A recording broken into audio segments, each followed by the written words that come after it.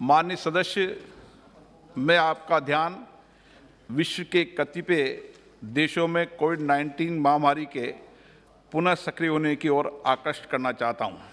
Covid 19 के पिछले अनुभवों को देखते हुए हमें निरंतर सतर्कता और सावधानी रखने की आवश्यकता है सरकार ने भी तत्परता से कदम उठाते हुए पूरे देश को कोविड 19 से संबंधित आवश्यक सुरक्षा उपायों के पालन करने की सलाह दी है। मेरा आप सभी मान्य सदस्यों आग्रह है, हम सभी उन सुरक्षा उपायों का पालन करें, मास्क का प्रयोग करें, तथा इस संबंध में जन जागरूकता फैलाने में अपना योगदान दें।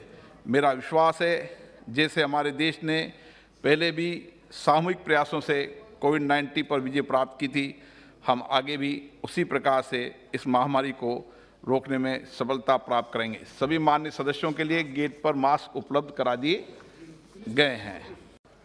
मान्य सदस्य, मैं आपका ध्यान विश्व के कतिपय देशों में कोविड 19 महामारी के पुनः सक्रिय होने की ओर आकर्षित करना चाहता हूँ।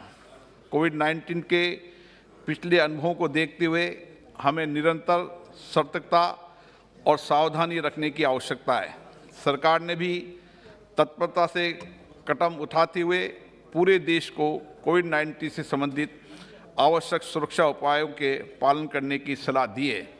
मेरा आप सभी मान्य सदस्यों आग्रह है, हम सभी उन सुरक्षा उपायों का पालन करें, मास्क का प्रयोग करें, तथा इस संबंध में जन जागरूकता फैलाने में अपना योगदान दें।